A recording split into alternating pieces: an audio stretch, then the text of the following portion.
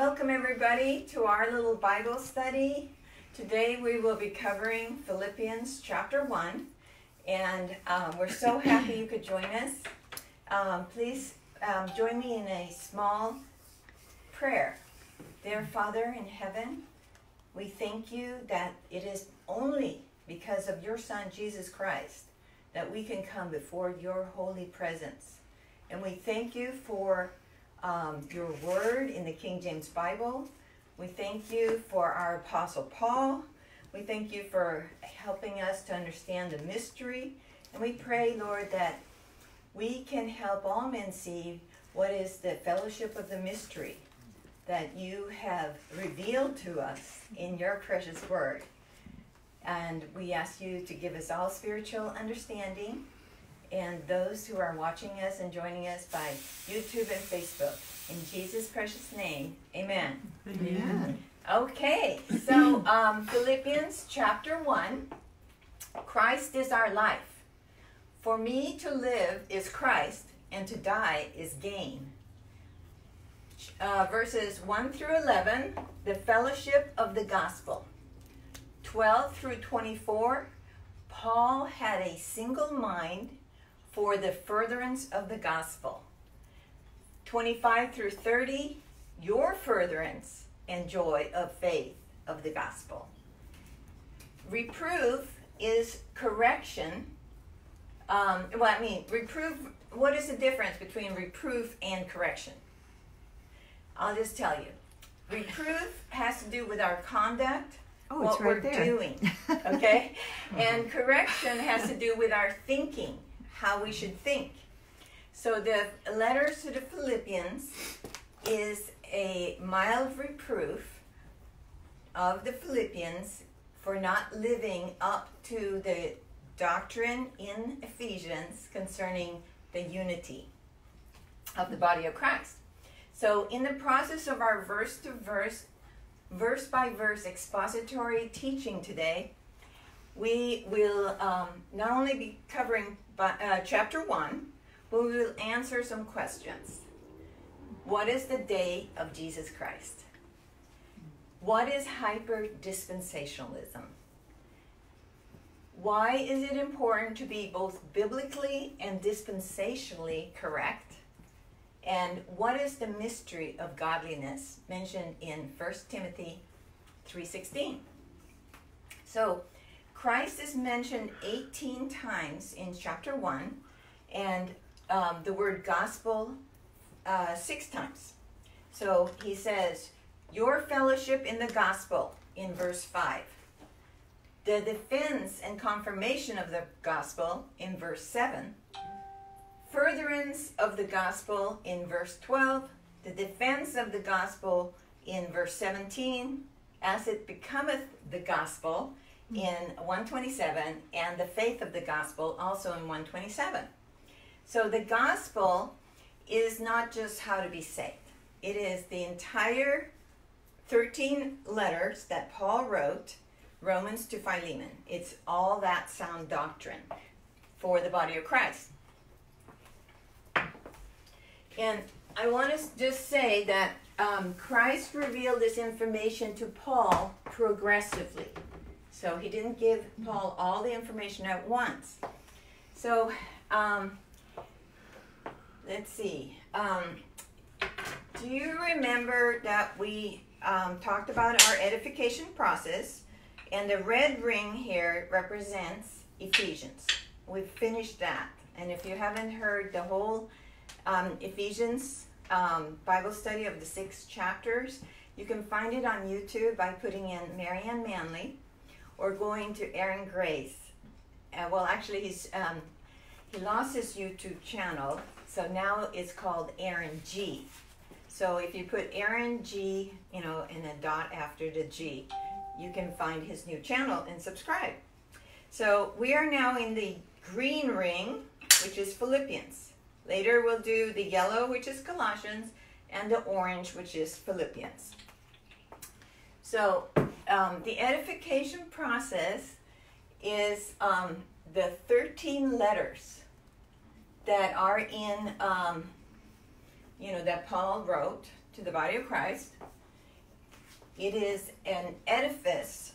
An edifice is a house or a building, and we can picture this edifice of sound doctrine as a two story building. So, in this two story building, Romans is the foundational doctrine. Then, Second Corinthians, First and Second Corinthians, and Galatians are make up the walls. Then to go on to Ephesians is on the second level and is the further and more advanced doctrine. So we are now um, in that more advanced doctrine, and the walls are Philippians and Colossians. Then um, First and Second Thessalonians put the roof on the building. Both of those um, have to do with um, the coming of Christ at the rapture and his second coming. Then First Timothy, Second Timothy, Titus, and Philemon are how to live in the house. So, see how all that works together? Mm-hmm. And this picture of the edification process is in my new book that I will show you in a little bit. But first, let's talk about a little more on the Philippians. So, in chapter 1, Christ is our life. For me to live is Christ, and to die is gain, is the, is the key verse. Then in chapter 2, Christ is our mind.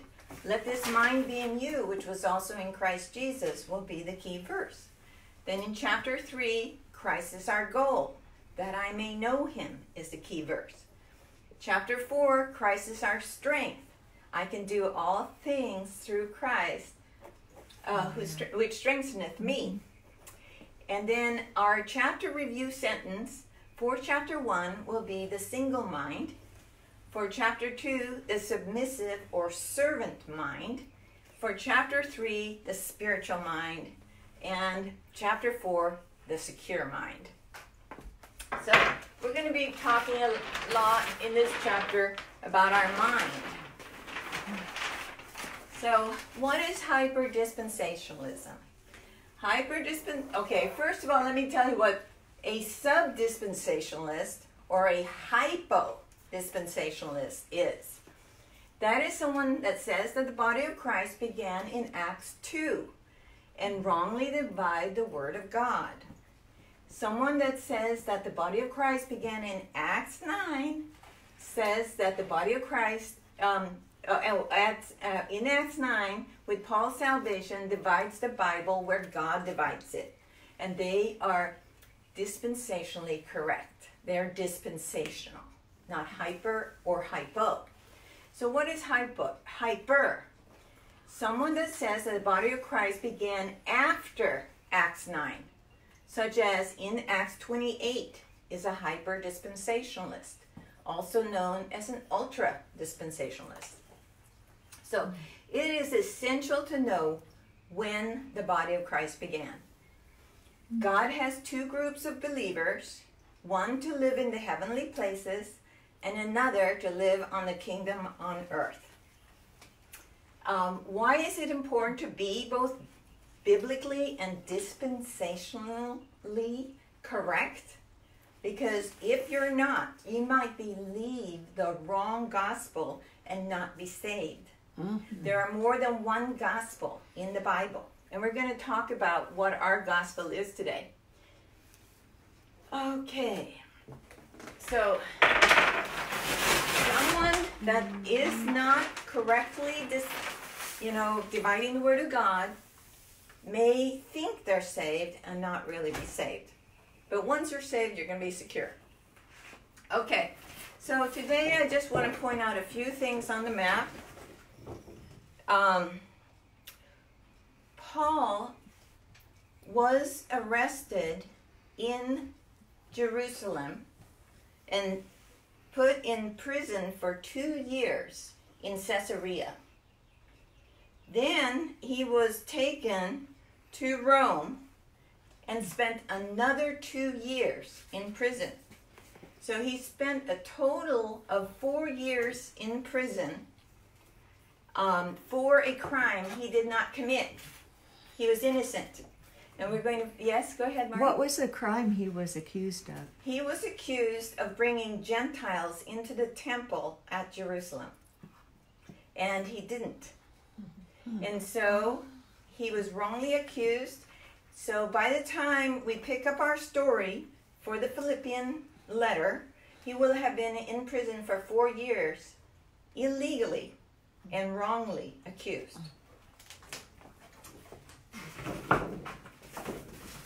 Okay, so just to go over our chart here very briefly.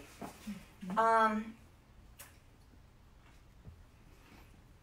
Paul was saved in Acts 9 on the road to Damascus. And God postponed his kingdom on earth um, program. So Paul is not preaching Matthew, Mark, Luke, and John.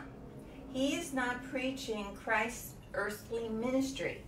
He is preaching Christ according to the revelation of the mystery that Christ is revealing to him from heaven. That is where God divides the word of truth. Because all the Bible is truth. But we're told in 2 Timothy 2:15 to rightly divide rightly dividing the word of truth. So to rightly divide the word of truth is to divide it where God divides it.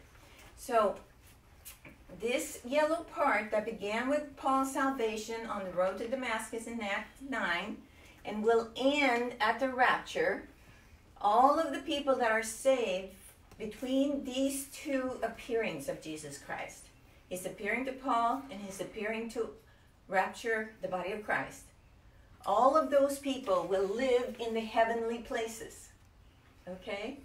And all of the rest of the people in the white will live on the earth in the earthly kingdom. You see how mm-hmm. easy that is? Mm-hmm. That's rightly dividing. Now I want to tell you mm-hmm. what I believe the day of Jesus Christ is. I believe, and we're going to go over this a little bit more, that he, the day of Jesus Christ is composed of three different events. So, just listen to me for a minute. Don't write so much because we're going to go over this and you'll have the notes, okay? And I will post the notes on um, God's Secret Facebook page. So, the day of Christ is composed of the rapture and of the judgment seat of Christ, where we'll have anything that was not done with Christ working through us, in us, and through us um, by his doctrine that he gave through Paul will be burnt off. Then the third event that is included in the day of Christ is when Christ presents us to the Holy Father. Mm-hmm. Okay? So remember that the day of Christ is composed of three events. And we're going to be going over that, so don't worry if you didn't get it all. Okay, I think um, I want to read to you a little bit about Paul's. Um, um, okay, the um, so what happened was that um, Paul sent the letter to the Philippians in appreciation for a gift they sent to him through Epaphroditus. The church at Philippi in Macedonia, a Roman colony. Okay, let's look at that on the map.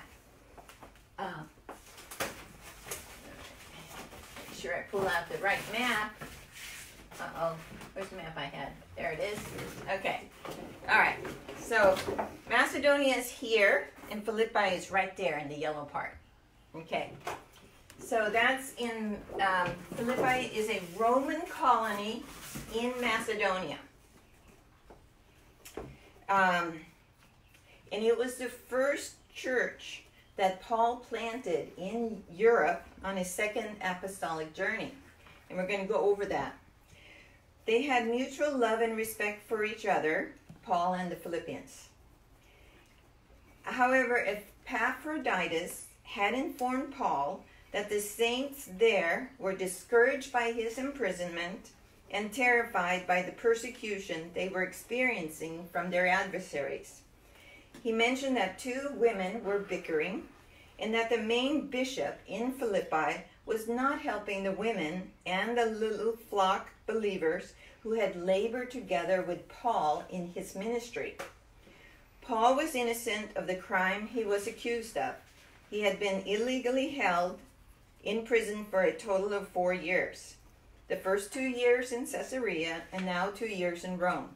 The Jews had accused him of bringing Gentiles into the temple at Jerusalem, as it's talked about in Acts 21 28 and 26 31.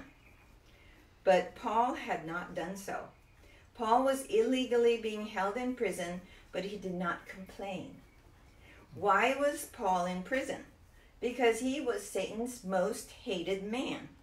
Souls were being saved and lives were being changed because Paul was preaching the true gospel of salvation.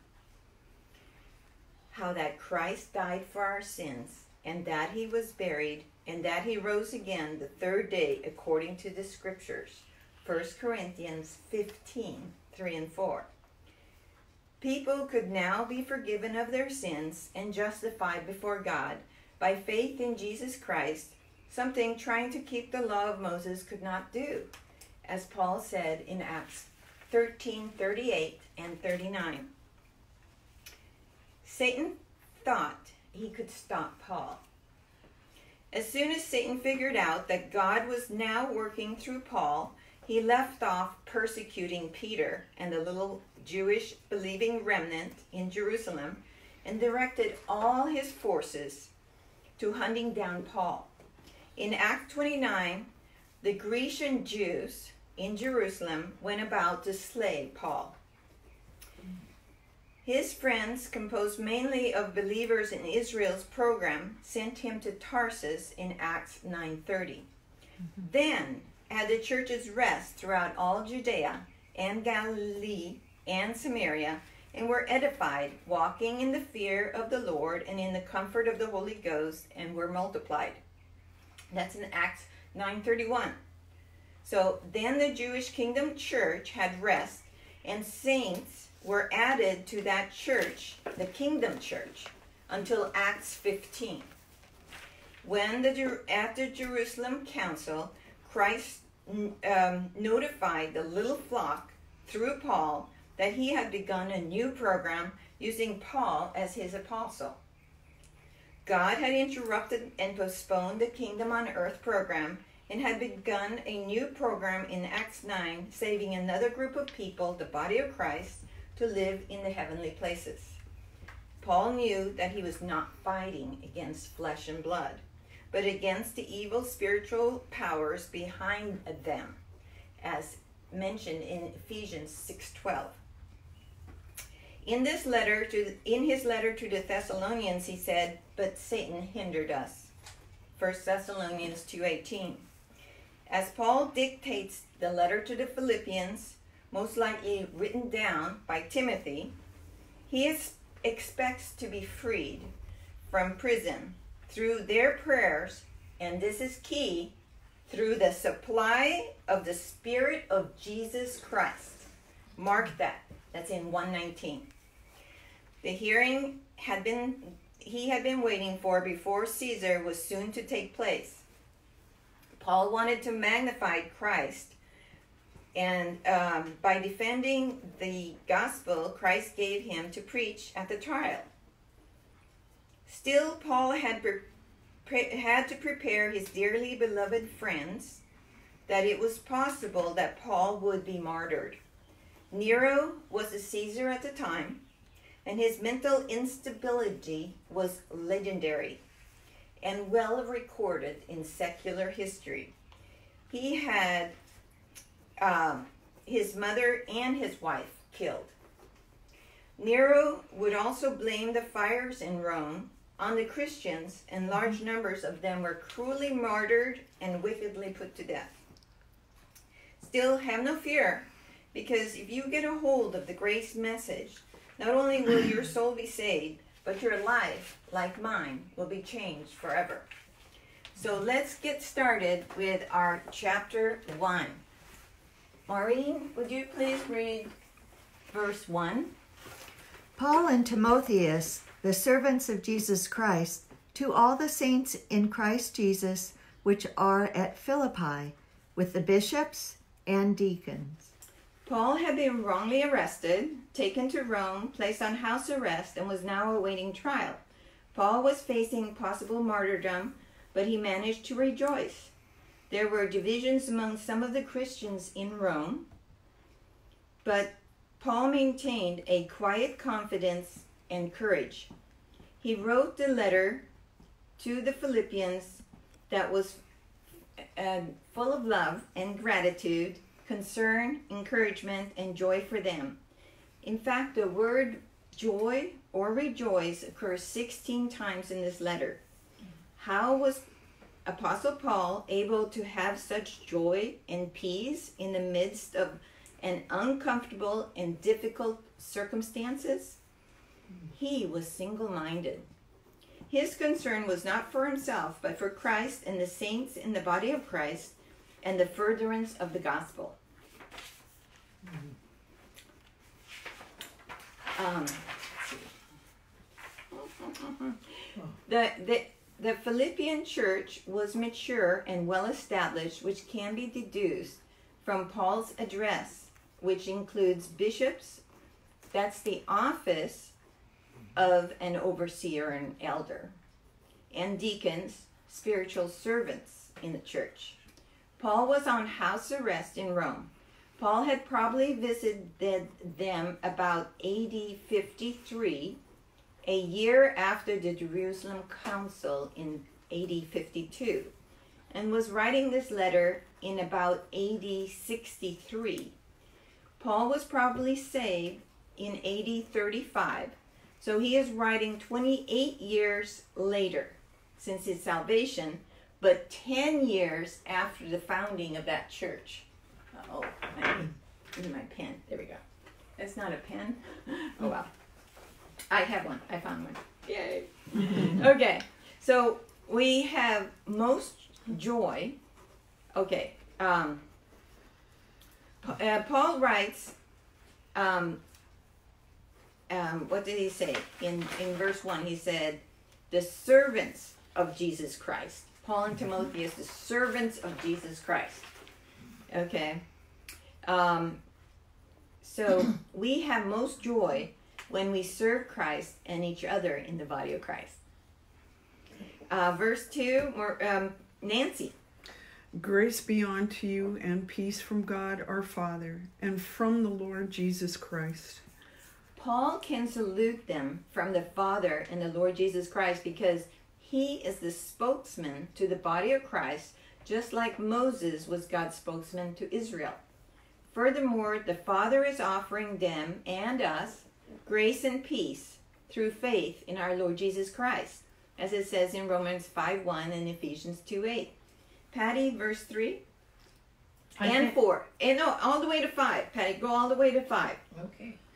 I thank my God upon every remembrance of you, always in every prayer of mine for you, all making request with joy, for your fellowship in the gospel from the first day until now. So every time Paul remembered them in prayer with joy, he thanked God for them. Always, not just sometimes, making requests for them with joy. The church at Philippi was planted by Paul, like I said, on his second apostolic journey. God, through him, saved a handful of very different people who became the nucleus of that assembly. Back when they were in Troas, a vision appeared to Paul. In the night, there stood a man of Macedonia, praying him, saying, Come over to Macedonia and help us. Acts 16 9. When Paul, Silas, Luke, and Timothy arrived in Philippi, they discovered that the man of Macedonia was really a woman. Hmm. And her name was Lydia. Oh. And a certain woman named Lydia, a seller of purple of the city of Thyatira. Now, Thyatira is in Asia Minor. So she hmm. was from the Asia Minor, but she was living in Philippi. Which worshiped God, heard us, whose heart the Lord opened, that she attended to unto the things which were spoken of Paul.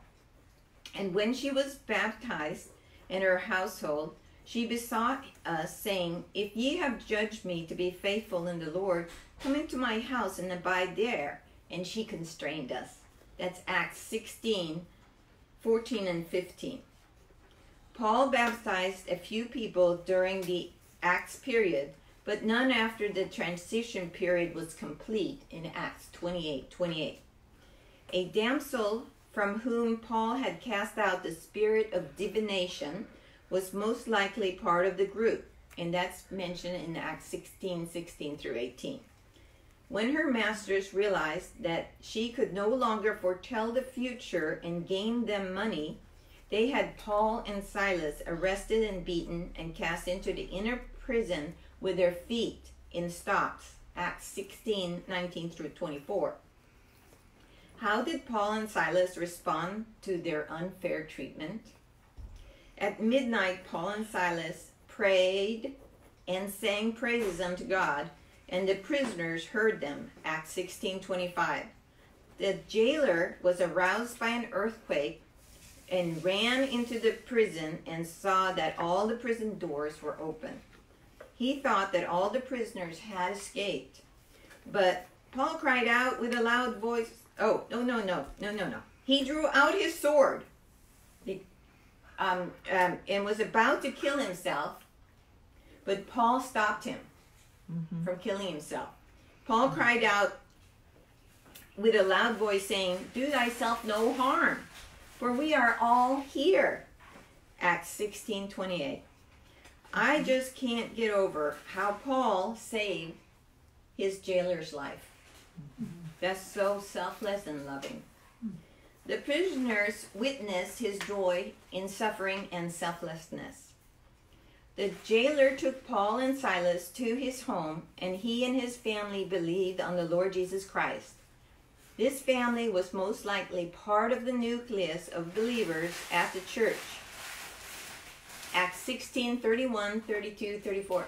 Yeah, go ahead, Patty, and close those doors.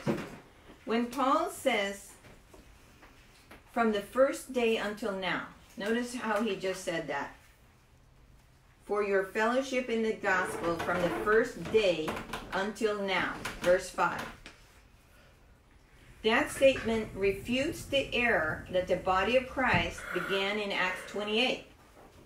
Now, instead of Acts 9, because Paul connects what happened in Acts 16 with a letter that he wrote from Rome. Being Acts 28 is not great. The Acts 28 position says that the body of Christ began in Acts 28 and that the little flock was accepting converts until then. But the little flock stopped taking converts after the Jerusalem Council in Acts 15, which is also Galatians 2. Paul was notified notifying the Jews that God had begun a new dispensation through him from Acts 9:15 to Acts 28 when he uh, went to the Jew first and also to the Gentiles the nation of Israel um, fell and diminished during the Acts period, as it says in Romans 11, 11, 12. 11, 11 and verse 12. Paul did not have a separate ministry that began in Acts 28. The letter to the Philippians make it clear that the beginning of the church in Acts 16 continued on when he wrote to them from Rome. The dispensation of grace and the body of Christ began in Acts 9 when Christ appeared to Paul and he believed on Jesus while on the road to Damascus. This dispensation ends with Christ next when Christ next appears in the air and the members dead and living are caught up to meet him in the air. 1 Thessalonians 4 16 and 17. The mystery of the formation of the new creature, the one new man, is all in one part, not two. To cut straight where God divides, and He does not divide with, uh, we are to cut straight with where God divides, and He does not divide within the epistles of Paul. Dividing within the epistles of Paul is being hyper dispensational.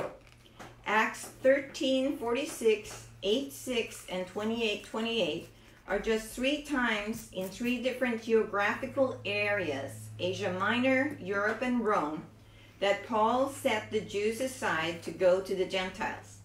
Those Jews opposed themselves by not believing the gospel he preached so they could have everlasting life. Act 28 is the belief that Paul's authoritative teaching began after the conclusion of the book of Acts. This view is known as hyperdispensationalism or ultra dispensationalism. All of Paul's letters are authoritative, not just the ones after Acts 28. However, it is true that the Acts epistles are foundational information when Paul went to the Jew first and also to the Gentile. When Paul wrote the prison epistles, he had come to understand the mystery, but was still receiving further and more advanced revelation for the body of Christ. J.B. Coles influenced E.W. Bullinger to go from believing that Paul's ministry began in Acts 13 to Acts 28. While J.B. Coles was the first to suggest this position, Charles H. Welch solidified it. Welch is also Welch also took some of Bullinger's projects. Um, he took over some of uh, Bullinger's projects after he died. We should be careful to avoid brethren who hold to the Acts 28 error. Someone that says that Paul's ministry, the dispensation of grace, and the body of Christ began in Acts 9 with Paul's salvation divides the Bible where God divides it and is dispensational and correct. Other believers, like I said, are subdispensational or hypodispensational and hold the, the doc, to the doctrinal error that the body of Christ began when the Holy Ghost um, came down on the little flock in Jerusalem. Paul was the first person in the body of Christ as it says in 1 Timothy 1:16. We do not divide within Paul's 13 letters. However, we do divide Paul's letters, the mystery, from the rest of the Bible, which is prophecy. But we study all of the Bible, as it says in Romans 15 4 and 2 Timothy 3:16. All um, of the Bible is profitable to us. Um, verse 6, Marie. Being confident of this very thing, that he which hath begun a good work in you will perform it until the day of Jesus Christ. God had begun a good work in the church corporately and in each church member individually in Philippi. When they were saved, each when they were saved, each one received the Holy Spirit in them. God is working in them both individually and corporately to conform them to Christ and to have Christ live out his life through them. In Ephesians, we learn that we can do things because of the power of his might, Ephesians 6:10. This is the same spirit which helps us to understand his word that's mentioned in First Corinthians um, chapter 2, verses 11 through 13. We are dead, Colossians 3, 3, and we have Christ's life and power operating in us now. The day of Jesus Christ encompasses the three events the rapture, the judgment seat of Christ, and Christ's presentation of the body of Christ to the Father. Paul wants to rejoice in that day when he, along with the rest of us in the body of Christ, are presented to the Father, knowing that he which raised up the Lord Jesus Christ shall raise up us also by Jesus and shall present us with you. 2 Corinthians 4:14. When Christ, who is our life, shall appear, then shall ye also appear with him in glory. Colossians 3 4 that he might sanctify and cleanse it with the washing of water by the word, that he might present it to himself a glorious church, not having spot or wrinkle or any such things, but that it should be holy and without blemish. Ephesians 5 26 and 27.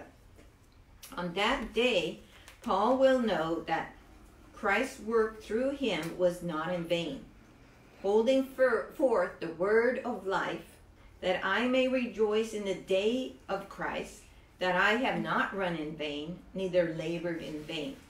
So Paul will know that all his work was valuable. Verse 7, Nancy. Even as it is meet for me to think this of you all, because I have you in my heart, inasmuch as both in my bonds and in the defense and confirmation of the gospel, ye all are partakers of my grace. Paul says that it is right, which means meet. Meet is, is right or fitting. That he has confidence in the fact that God has be, who began a good work in them will finish it until that day of Jesus Christ. Remember when we're presented to the Father? Mm. Because they are in Paul's heart, he prays for them and is grateful for their encouragement in his affliction. He says that they support his ministry both in his imprisonment and when he gives his defense and confirmation of the gospel before Caesar. The money they gave him may have helped him afford to hire a lawyer. Perhaps Zenas, the lawyer, helped Paul to get his case heard. Turn to Titus 3:13.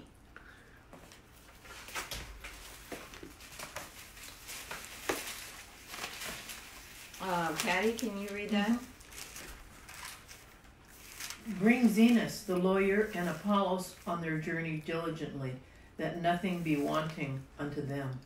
Okay, so there was a lawyer, Zenas, that was, um, you know, a grace believer.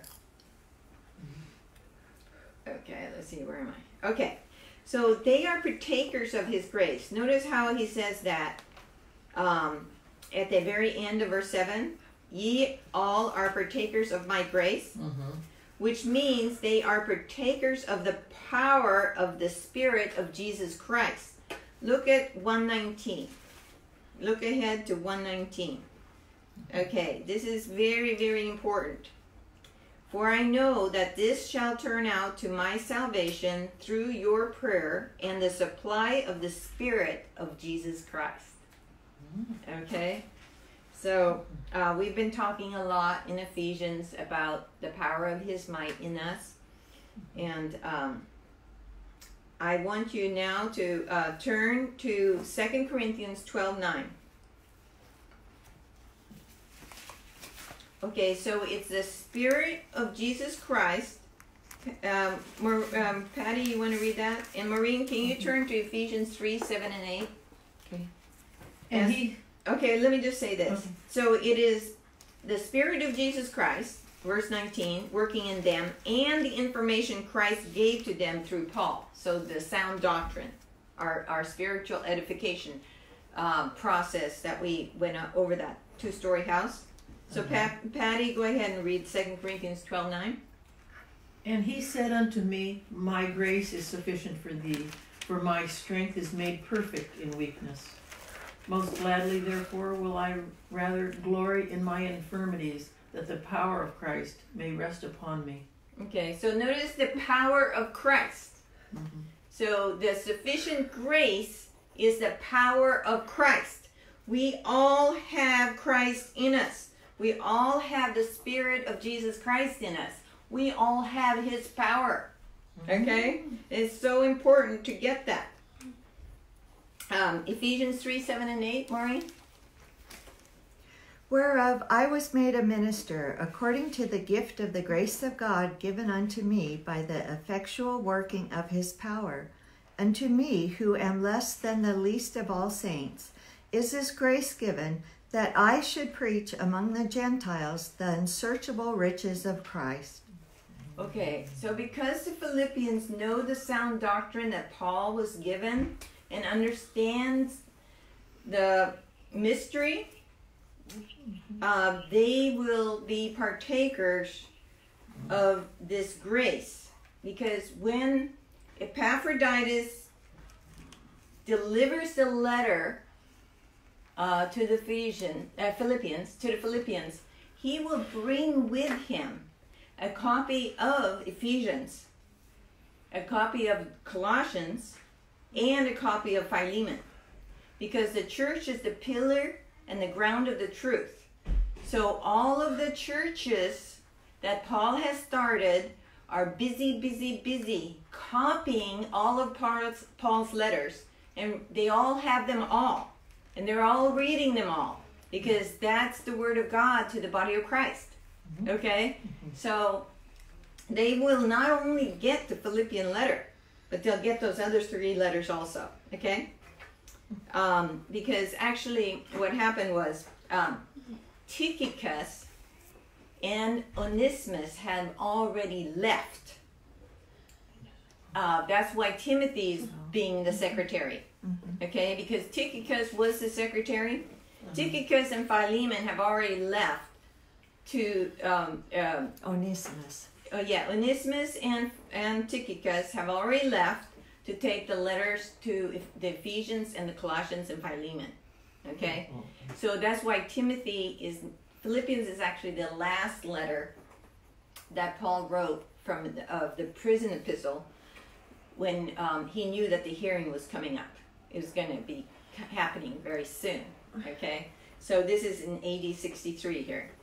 So uh, verse um, 8 and 9. Uh, Maureen? Wh- why don't you do 8 and then Nancy can do 9? For God is my record, how greatly I long after you in the bowels of Jesus Christ. So the bowels of Jesus Christ means God knows how greatly Paul longs for them with the depth of the love of Jesus Christ in his innermost being. Remember, he has the Spirit of Christ in him, so it resonates. He ha- it's Christ's love for the Philippians that is in the bowels of Jesus Christ. Go ahead, um, um, Nancy. Nine. And this I pray that your love may abound yet more and more in knowledge and in all judgment. Paul prays what he desires for them, which is that their love may abound more and more among themselves in knowledge, in the knowledge of God, and in all understanding and discernment um, of the doctrine Paul is sharing with the church. That's what he wants. He wants them to understand all the things that he's been writing. Patty, verse 10. That ye may approve things that are excellent, that ye may be sincere and without offense till the day of Christ. Okay, so this is part of the prayer. That they would approve things that are excellent, which is superior, not just good, better, or best. Approve means to be pleased with, to show to be true, commend, to verify as true and right. What is the what is excellent in verse 3 8? It is pursuing the knowledge of Christ Jesus my Lord and winning Christ according to the revelation of the mystery, Romans 16 25. Paul wants them to approve the doctrine Christ from heaven gave to him. Sincere means without wax. Some sculptors would fill in defects with wax, which would melt in the sun when the statue would, after the statue was purchased. So not fake. Genuine is what sincere means. That you may be sincere and without offense till the day of Christ. See? Paul wants the Philippians to live on a higher plane in their grace life now. Okay? And we should do. Paul wants the Philippians to be without offense, blameless, without flaws, inside and out, in their inner man and in their conduct until the day of Christ. Paul wants Paul gives a list of things which are excellent in verse um, in chapter four, verse eight. Whatever things are true, whatever things are so forth and so on. You know that one?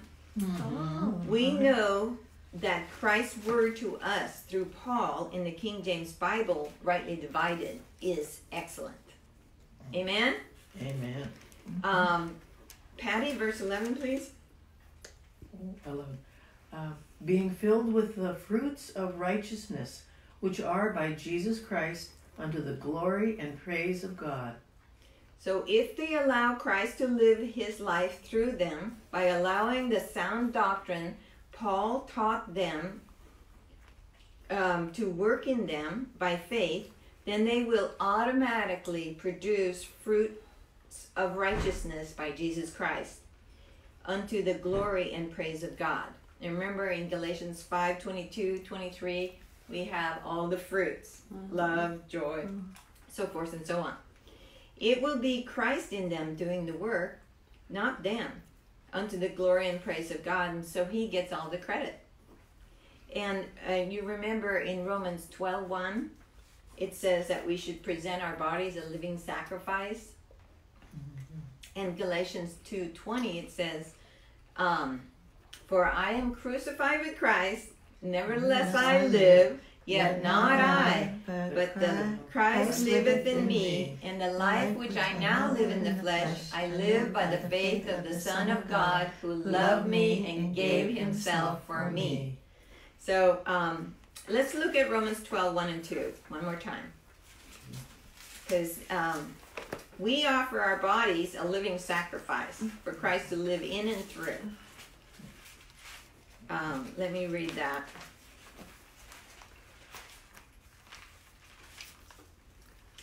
I beseech you, therefore, brethren, by the mercies of God, that you present your bodies a living sacrifice, holy, acceptable unto God, which is your reasonable service. And be not conformed to this world, but be transformed by the renewing of your mind, that ye may prove what is that good and acceptable and perfect will of God. So we're going to be transformed by studying the Word of God rightly divided, getting all of Paul's edification process into our inner man. So, verse 12, um, it, whose turn is it, Maureen? But I would ye should understand, brethren, that the things which happen unto me have fallen out rather unto the furtherance of the gospel. Okay, so Paul starts a new paragraph. The Philippians were discouraged that their leader and apostle was in prison in Rome. Paul tells them that he wants them to know that the things that have happened to him, his imprisonment, have actually worked out to the furtherance of the gospel. The advancing of the gospel to um, places it would normally not have gone, such as Caesar's palace. Mm-hmm. The gospel is all the sound doctrine, Romans to Philemon, not just the salvation message given to Paul by Christ. If Paul had not been arrested and if the Philippians had not given him a gift, we may not have this letter to edify us in the body of Christ. So you see how that, you know, worked out for for furtherance of the gospel. Having mm-hmm. being in prison, he had to write, right? Mm-hmm. Um, who's ready for verse thirteen? So that my bonds in Christ are manifest in all the palace and in all other places. So he just said, you know, his bonds are manifest or revealed in all the palace and in all other places. The soldiers guarding Paul were chained to him for six hours at a time. Paul had a captive audience, and they heard the revelation of Christ that and the revelation that Christ had given him, and many trusted Christ and were saved and took the message to their other posts and in the palace and in all other places. so what Satan wanted, you know, to shut Paul up, and he wants to shut us up. He mm-hmm. wants to silence us, but it didn't work. Now we ha- he had a letter that has been read for 2,000 years, nearly 2,000 years. With Christ, um, Paul was the source of a huge network of the gospel going forth, and this was before phones or computers. Uh, Patty, verse 14. And many of the brethren in the Lord, waxing confident by my bonds, are much more bold to speak the word without fear. Many believers in the Lord grew much more bold and confident about sharing the grace message with others. They thought if Paul can tell others about Jesus being on arrest, we can certainly do it being free. Uh, verses 15 and 16, uh, Maureen? Some indeed preach Christ even of envy and strife, and some also of goodwill. The one preach Christ of contention, but not sincerely, supposing to add affliction to my bonds. Some were preaching Christ out of envy and strife, while others did it out of goodwill. Envy and strife are behind the attacks on other people's ministry. Some preached Christ while criticizing Paul. They wanted to magnify some controversy they may have concerning what Paul said. These were not sincere, supposing to add affliction to his bonds. Do you know of any preachers that love to criticize other preachers with controversies instead of focusing on what they themselves are doing for the Lord? We are to be responsible for our own ministry and mind our own business. Um, or uh, Nancy, 17. But the other of love, knowing that I am set for the defense of the gospel. But others were preaching Christ out of love for Christ and his message through Paul. Jesus sent Paul. If any man think himself to be a prophet or spiritual, let him acknowledge that the things that I write unto you are the commandments of the Lord. 1 Corinthians 14:37. So you can see that Paul knew that Christ was writing to the body of Christ through him. They were the commandments of the Lord. They were praying for Paul and helping him to get ready to make his defense before Caesar. That's the Philippians. The Lord Jesus Christ had told Paul that he would preach to kings.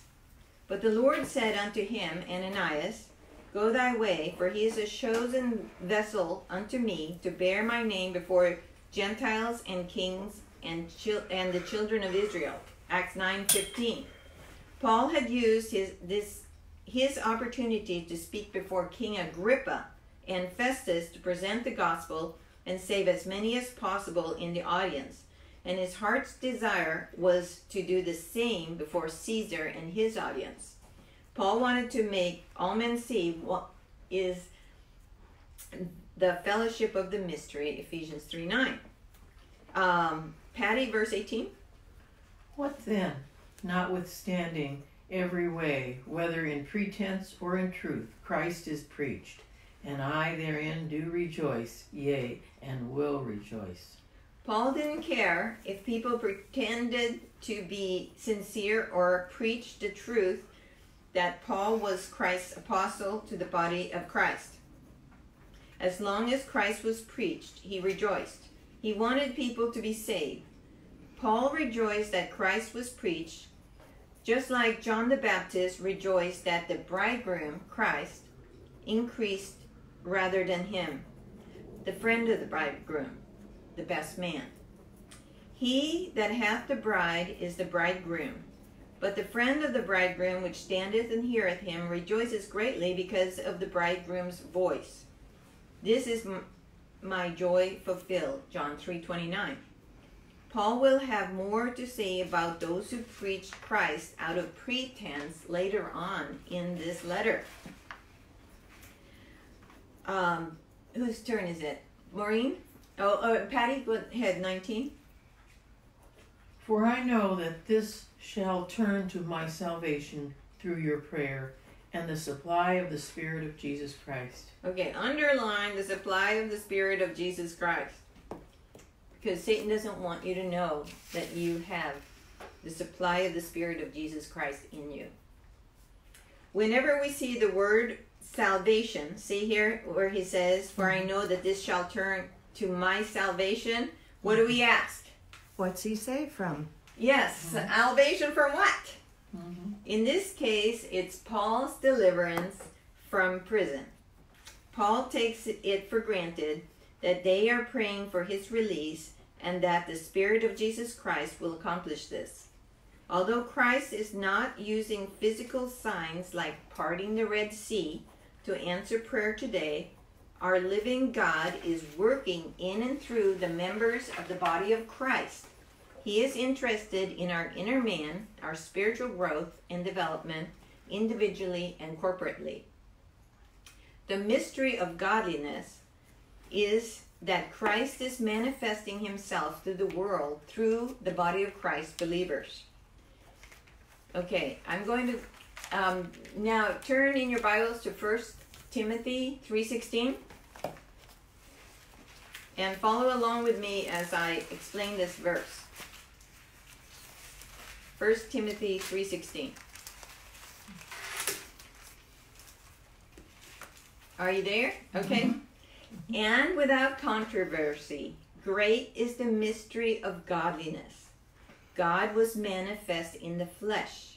In Colossians 1:27 it says, Christ in you, the hope of glory. Mm-hmm. We just read in 119 the spirit what did we say? The spirit of Jesus Christ? Mm-hmm. Supply Uh, let's of the see. Spirit. Uh, Supply of the Christ. Spirit of Jesus Yeah. So the supply of the Spirit of Jesus Christ, okay? Mhm. So that is what is meant with God was manifest in the flesh. Because the fact that um, Christ became flesh and dwelt among us in uh, um, John 1.14, that was prophecy. That was prophesied. You know, the virgin was going to ha- um, uh, have a, you know, conceive and bear a child, and it would be God with us, right? Mm-hmm. Emmanuel. So that fact that God would put on human flesh was prophesied. Mm-hmm. What was a mystery was the fact that Jesus Christ would be in the body of Christ mm-hmm. members. Okay? Christ in you, the hope of glory. Okay? Colossians 1:27. This is a great mystery, right? Christ in you, the hope of glory, right? So justified in the spirit, that's Romans 3:26, where it says that um, the Father could remain just because we have been justified and we have received the imputed righteousness of Christ, so that when God the Father now sees us, he doesn't see us, he sees the imputed righteousness of Christ on us. So we have Christ in us and we have Christ on us. Okay? Or we could also say we are in Christ. Okay? So we are in Christ and Christ is in us. You see the two? Mhm. Okay? So that's justified in the spirit. Okay? Seen of angels in Ephesians 3:10 it says that you know the um, well let's turn there Ephesians 3:10 to the intent that now unto the principalities and powers in the heavenly places might be made known by the church the manifold wisdom of God. So the principalities there in uh, heavenly places, the principalities and powers in heavenly places are good and bad angels that are observing us today because the yellow part, the mystery, was not in the Bible until Paul started writing his letters. And so they're all curious. All the angels are curious. The bad angels are curious because we're going to replace them. And the good angels are curious because we're going to be with them in the heavenly places. Okay? So, um, preached unto the Gentiles. See, um, Paul says in Romans eleven thirteen, For I speak to you Gentiles in as much as I am the apostle of the Gentiles. But now turn to Romans fifteen eight. What does Romans fifteen eight say? Uh, Nancy, you want to read that when you find it? Romans fifteen eight.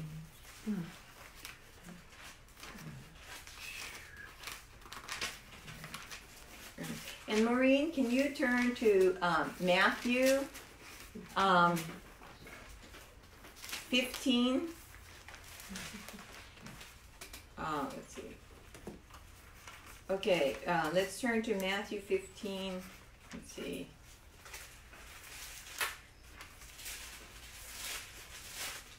Oh, 10, 5, and 6. 10, 5, and uh, no, 10, um, 6, and 7. You're going to do 10, 6, and 7 in a little bit. Okay. Okay, first do uh, Romans 15, 8. Now I say that Jesus Christ was a minister of the circumcision for the truth of God, to confirm the promises made unto the fathers. Okay, so who are the circumcision? The Jews, Jews. right? Right. Okay, so Jesus Christ was a minister to the Jews to confirm the promises made to the fathers, Abraham, Isaac, and Jacob. So he never preached to the Gentiles. Gen- a few Gentiles were saved during his ministry if they blessed Israel.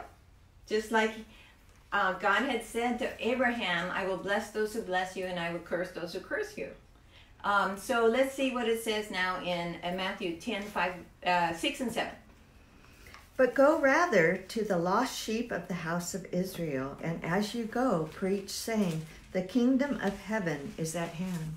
Oh, you know, that wasn't what I wanted. Uh, turn to Matthew 15.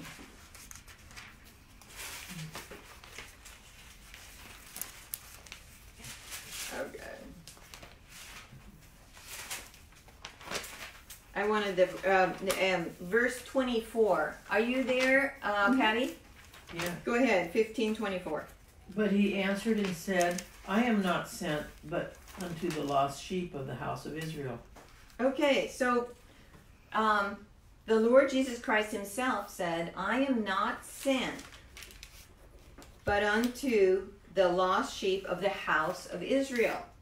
So the house of Israel is the Jews, that's not the Gentiles, right? So He preached to the Jews.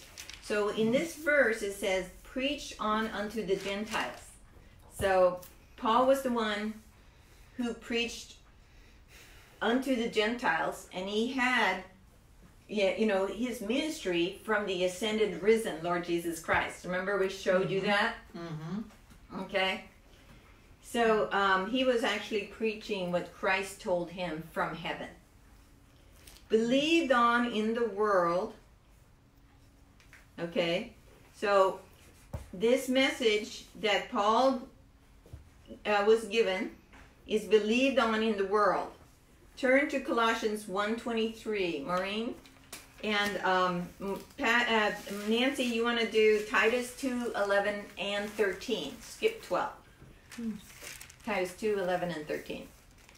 Go If ahead. ye continue in the faith, grounded and settled, and be not moved away from the hope of the gospel, which ye have heard, and which was preached to every creature which is under heaven, whereof I, Paul, am made a minister. Okay, so see, every creature under heaven heard the message that Paul gave. So believed on in the world. Uh, go ahead, um, Nancy. Titus 2, 11, and 13. For the grace of God that bringeth salvation hath appeared to all men, looking for that blessed hope and the glorious appearing of the great God of and our um, Savior Jesus Christ. Okay, so see how it has appeared to all men in in verse 11 there? I guess I could skip verse 13, which is our, uh, the blessed hope of our rapture. Received up into glory. Hey, I should put that verse back over here. So, you know, it was good that you read it. Um, because received up into glory is the rapture. You see that? You see how this this um, the last thing in this verse is received up to glory. So that's the rapture of the church. Hmm. Okay, because Christ ascended, which is true, but the order of the things that we've just covered in this verse, he ascended a long time ago. You know, he didn't preach to the Gentiles and then ascend, right? So, and and that uh, rapture, those rapture verses are, of course, in uh, 1 Thessalonians 4 16 and 17. Let's go there. 1 Thessalonians 4 16 and 17. Okay. So it says, um, For the Lord himself shall descend from heaven with a shout, with the voice of the archangel, and with the trump of God. And the dead in Christ shall rise first. Then we which are alive and remain shall be caught up together with them in the clouds to meet the Lord in the air, and so shall we ever be with the Lord. Okay, we get to be with Him for eternity. So that's the uh, received up into glory. On the cross, the world witnessed the complete self sacrifice of Jesus Christ. The Spirit is still living, His Spirit is still living. The life of Jesus Christ is lived out in His saints today. Thank you, God.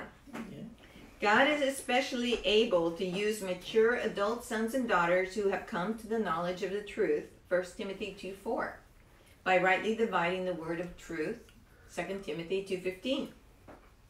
These believers know what God is that God is building the body of Christ in the dispensation of grace to live in heaven.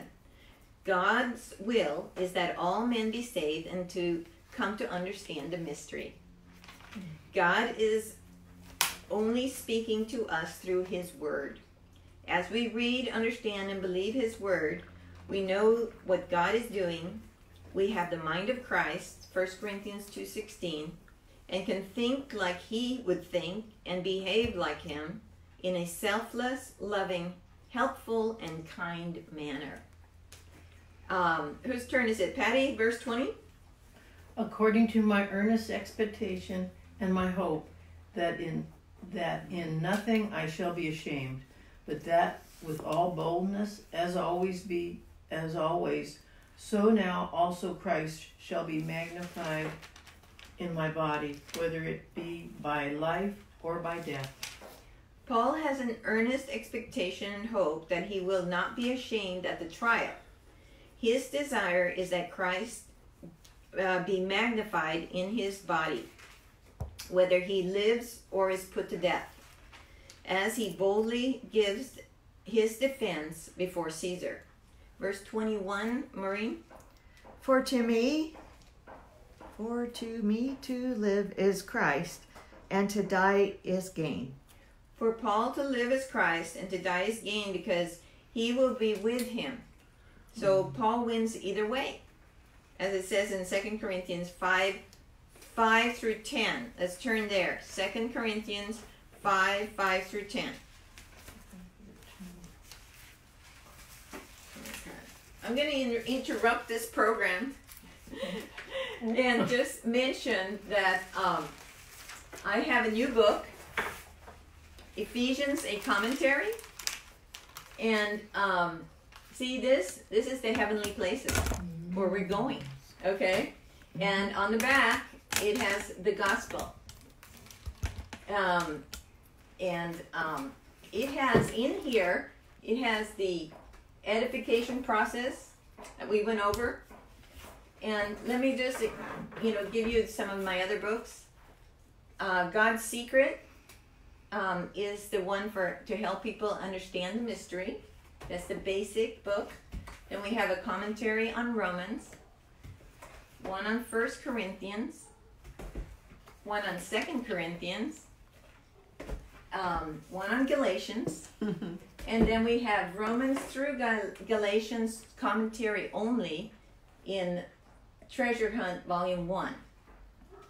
So um, we will be using also Lori Verstegen's book through the Book of Books for our homework, which we will be covering pages 213 through 219, and we will do that in lesson four of this um, four part uh, going through Philippians one chapter at a time series. So um, if you do get some of my books, and I have a lot of summer specials going on right now on my Kindles for 99 cents. I think Romans and First Corinthians on Kindle is available for 99 cents this week. And um, I'll have some more summer specials coming up. But if you get my books, please, please, please do a little review if you like the books. If you're going to give me five stars. If you're not going to give me five stars, don't do a review. I know. So here we are in Second Corinthians 5 5 through 10. And um, it says, Now he that hath wrought us for the selfsame thing is God, who also has given unto us the earnest of the Spirit. See, here it is again. We have the earnest of the Spirit.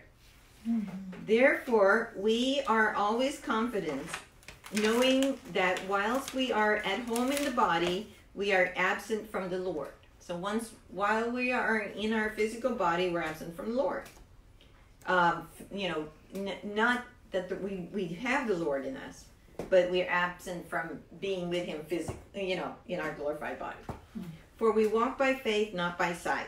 We are confident, I say, will and willing rather to be absent from the body and to be present with the Lord. Wherefore we labor that whether present or absent we may be accepted of him. For we must all appear before the judgment seat of Christ, that every one may receive the things done in his body according to that he hath done, whether it be good or bad. So it will be good for those people who study the Word of God and understand it, rightly divide it. We will have something at the judgment seat of Christ. Okay, um, where am I? What verse? Are, okay, so Paul wins either way. Um, Maureen, uh, verse twenty-two. But oh no, you, you you just did that one. Oh. Pat, N- Nancy, I mean twenty-two. But if I live in the flesh, this is the fruit of my labor.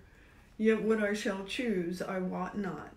So the fruit of his labor is to magnify the Lord Jesus Christ. Mm-hmm. So if he will be pardoned from prison, the fruit of Paul's ministry is to magnify Christ in his body, but he doesn't know which one he wants to happen. So he doesn't know if he wants to live or die. Mm-hmm. Patty, verse 23. For I am in a strait betwi- betwixt two, having a desire to depart and to be with Christ, which is far better. For he is in middle in the middle between two. He has a desire to depart this life and be with Christ, which is far better. Verse 24, Maureen. Nevertheless, I abide in the No, flesh. to abide. Nevertheless, to abide in the flesh is more needful for you. But it's more valuable for them if he continues to live in his body. Uh, verse 25, Nancy. In having this confidence, I know that I shall abide and continue with you all for your furtherance and joy of faith. Paul is confident that he will stay in his physical body and continue with them for the furtherance of their joy of faith. See how it says there, furtherance, your furtherance and joy of faith?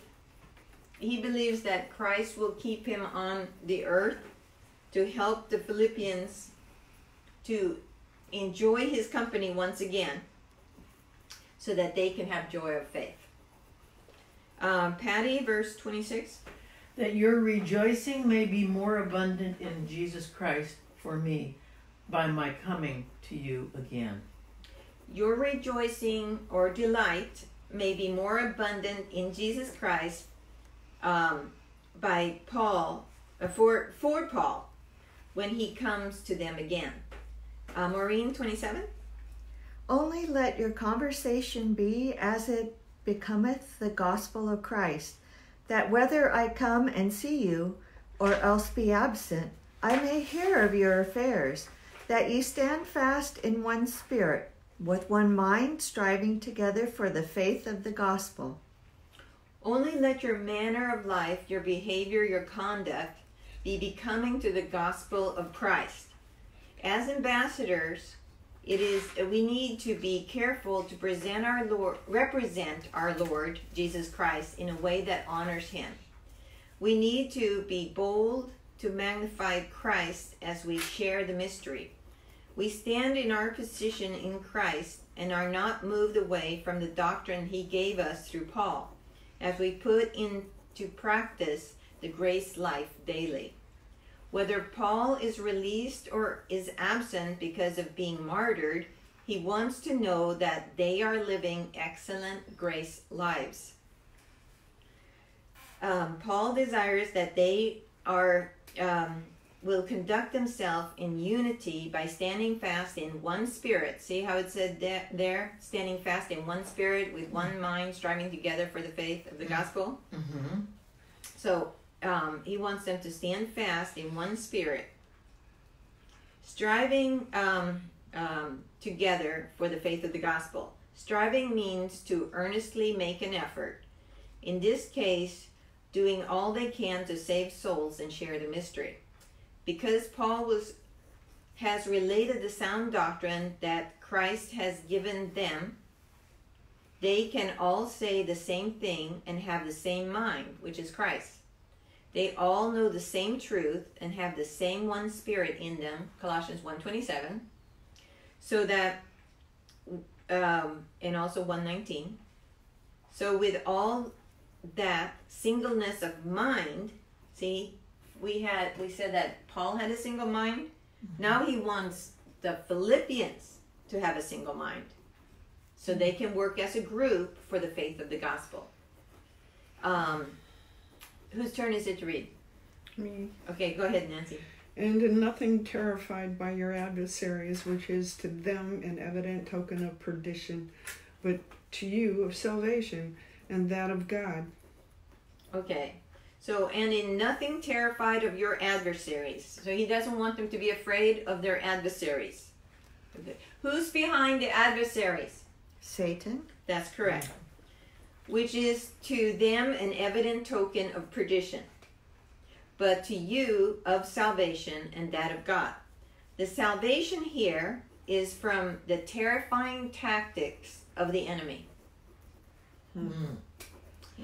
Epaphroditus had informed Paul of those who persecuted the church and who opposed his apostleship.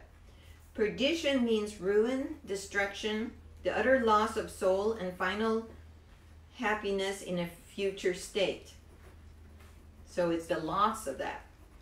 Mm. If the Philippians courageously magnify Christ and his mystery, it will be a token of perdition to their adversaries that their strategy didn't work. Satan has an active policy of evil against the grace doctrine in this dispensation. He wants to silence them from holding forth the word of truth. I mean, holding forth the word of life. Okay? We'll see that in 216. So when we, we get to 216, it talks about holding forth the word of life. Paul describes their adversaries in 3 2, and we'll cover that when we get to chapter 3, saying their end is destruction, 319. Oh well, let's just look at it now. Okay. Uh, Patty, can you read 3 2? Maureen, can you read 319? You bet. Three, two. Which book? Philippians. Oh, okay. Uh, beware of dogs. Beware of evil workers. Beware of the concision. Okay. So those are, are the adversaries. Okay, he warns them against those. Go ahead, Maureen. Whose end is destruction, whose God is their belly, and whose glory is in their shame, who mind earthly things. Okay, so when we get there, we'll cover it. But just the basics is that their God is their bellies. They wanna they wanna have another jet plane. Okay, mm-hmm. they're the pastors that want to have lots of money. They want their their people to tithe mm-hmm. so that they can have bigger bellies. Mm-hmm. Okay, uh, in today's health and wealth gospel, for example, or even the denominational um, gospels that are being um, put out there by many pastors who don't rightly divide, they're you know sold out to wanting to ha- uh, have nice homes instead of preaching the truth. Okay, so we have to decide sometimes between the two. Are we going to um, teach and preach the truth or not? Um, saying that the, their end is destruction. So uh, Paul knew that his adversaries preached Christ to their own destruction because they were not following the one apostle Christ has had appointed to the body of Christ. So now I'm going to read a few verses that talk about following Paul. So we know that many uh, pastors and teachers are not following Paul. And that's their error. Um, so wherefore I beseech you, be ye followers of me. 1 Corinthians 4:16. Be ye followers of me, even as I also am of Christ. 1 Corinthians 1:11. I mean 11:1. Be ye therefore followers of God as dear children. Ephesians 5:1. To follow God is to follow Paul, again, who he sent. Brethren, be ye followers together of me, and mark them which walk so as ye have us for an ensample. Philippians 3:17. So when we get to Philippians 3:17, we find out that we should be listening to the grace preachers and teachers.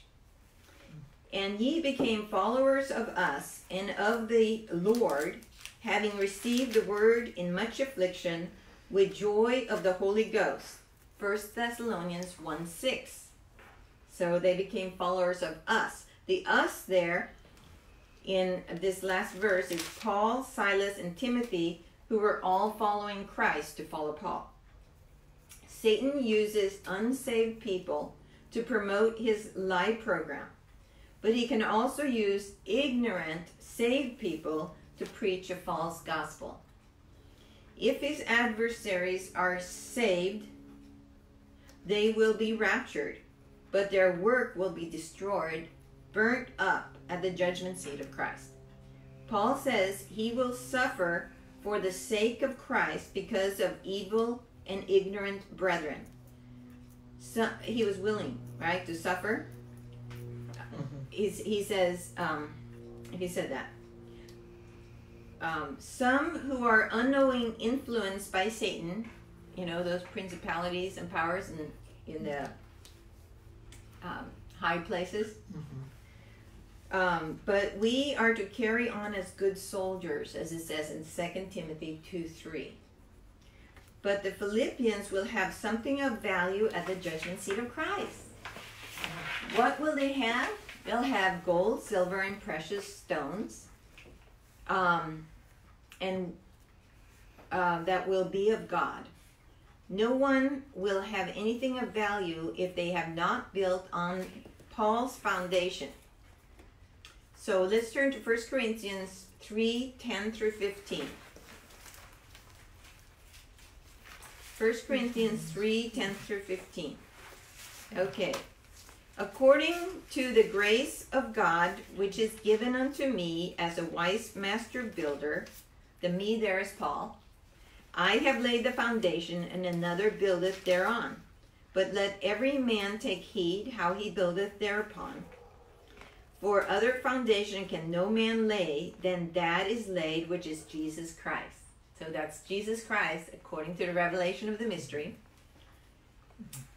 Now, if any man build upon this foundation, which is the foundation of Jesus Christ with Paul's foundation on top, gold, silver, precious stones, wood, hay, stubble. Every man's work shall be made manifest, which means revealed, for the day shall declare it. That's the judgment seat of Christ. Because it shall be revealed by fire, and the fire shall try every man's work of what sort it is. If any man's work abide, which he hath built thereupon, he shall receive a reward. If any man's work shall be burned, he shall suffer loss, but he himself shall be saved, yet so as by fire. Okay? So those people who wrongly divide, but have actually trusted the true gospel that Christ died for their sins, was buried, and rose again, will be saved, but they won't have anything uh, of value at the judgment seat of Christ. Uh, verse 29, um, Nancy? Philippians. Oh, no, it's it's Patty. Go ahead, Oh, Patty. Philippians. For unto you it is given in the behalf of Christ, not only to believe on him, but also to suffer for his Which is Paul, suffered. Chances are that we will too. This is not the health and wealth gospel that many are falsely preaching today. Um, 30, uh, Maureen, last verse. having the same conflict which we ye saw in me, and now here to be in me. So they will have the same conflict as Paul had the desire to depart and be with Christ, or to stay and edify others. Sometimes entire Godhead.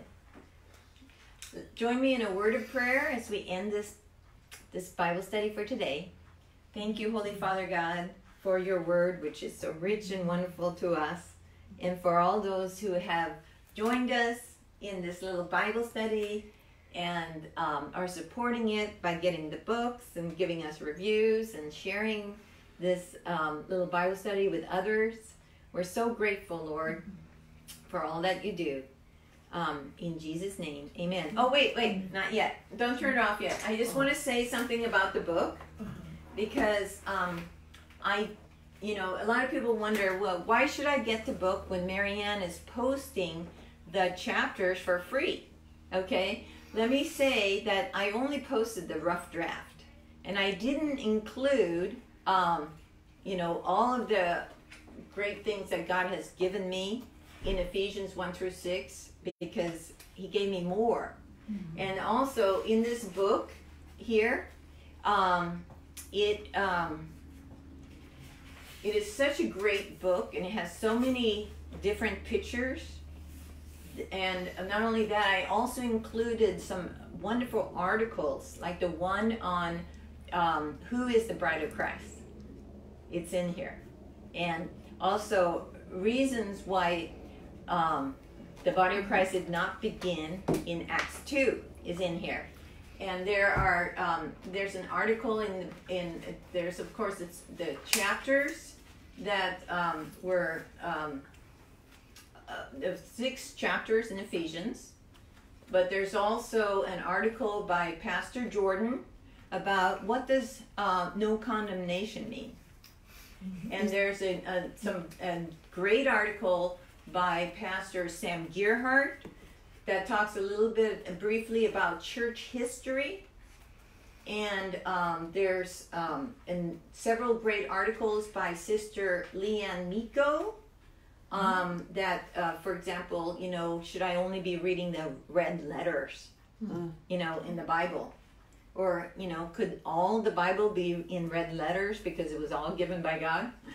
And so um, here is some um, pictures here of uh, some of the um, people that were, you know, also finding out because they realized that we were not Israel.